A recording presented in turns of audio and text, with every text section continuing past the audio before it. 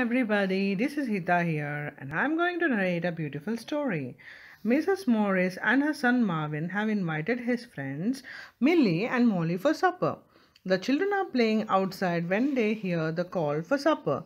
They all come inside, wash their hands, and sit down at the table. I am hungry. Says Marvin, rubbing his tummy. Mmm, I hope it's spaghetti and meatballs. I hope it's hot dog. Mmm. Says Molly. I hope it's hamburgers. Says hmm. Milly, rubbing her tummy. Then Mrs. Morris comes in carrying a steaming dish. Lamb and peas, say the children. I like that most of hmm. all. Says Marvin. Mm.